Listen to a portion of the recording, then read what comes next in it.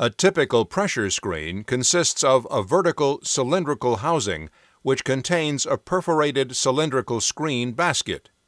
Within the basket is a spinning rotor which supports foils or shaped bumps that run close to the surface of the screen.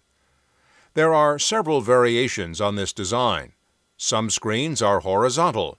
Some designs have the inlet flow going to the inside of the basket some have it going to the outside.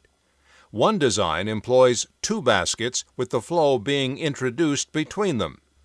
For simplicity, the rest of this module and the illustrations shown will refer to the typical screen described above with the feed flow going to the inside of a single basket.